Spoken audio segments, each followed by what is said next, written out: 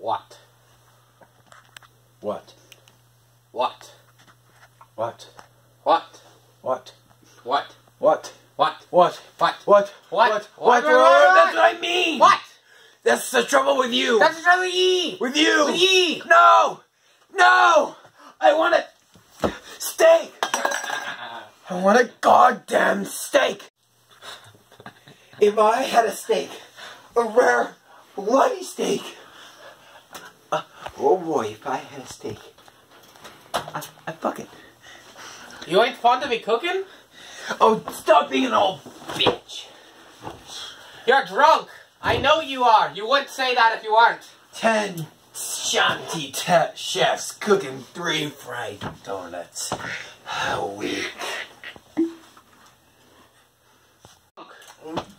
And there's ham and Hey, you're big drunk. as your face. You're drunk. I'm drunk. You heard me. You've been drunk ever since I laid eyes on you. You're drunker than a Virginia fence. Danny! You're fond of me lobster, ain't she? I've seen it. I know you are. Say it. Say it. Say it. There ain't nothing to say. Danny! And Winslow. Hark! Hark! Triton. Hark! Rise from the depths, full foul and fury. Black waves teeming with salt foam to smother this young mouth, to choke in ye, engorging your organs till ye turn blue and bloated with bilge and blind. Only when he, and can scream no more, only when he, crowned in cockle shells, with slithering tentacle tail and steaming beard, take up his spell, befitted arm.